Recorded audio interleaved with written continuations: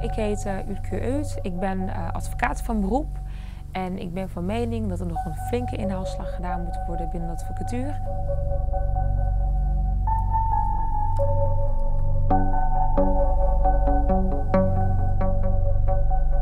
De weerspiegeling klopt niet. En er is te weinig kleur en er komt te weinig binnen. En dat komt niet omdat zij de Nederlandse taal niet beheersen. Dat zijn allemaal jongeren die hier geboren, hier getogen zijn.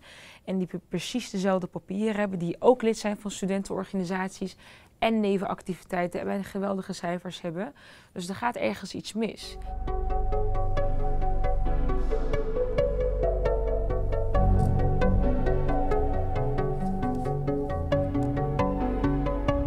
Ik denk dat mensen denken, een bepaalde beeldvorming hebben.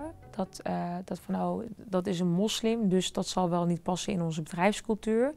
Hij of zij zal wel niet meegaan naar borrels en met ons meedrinken. Of dat dan wordt gezegd van, oh, zij is van Turkse Nederlandse, dus zij zal wel op jonge leeftijd gaan trouwen en kinderen krijgen en parttime gaan werken. Of zij, wel, zij zal de Nederlandse taal wel niet voldoende beheersen. Dat zijn allemaal beeldvormingen en allemaal taboes die we moeten gaan doorbreken met z'n allen.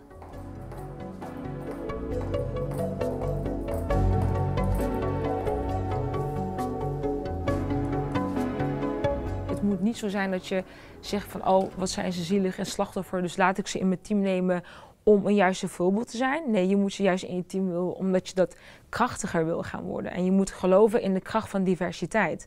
En zolang je dat ziet als een verplichting en zolang je dat ziet als een gebrek dat uh, gecorrigeerd moet worden, dan geloof je er ook niet in.